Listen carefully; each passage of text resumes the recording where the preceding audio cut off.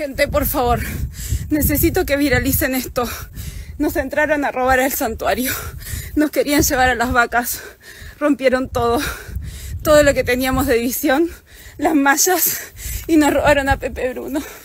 Nos robaron un cordero que salvamos hace, hace un año y medio. Por favor, les suplico.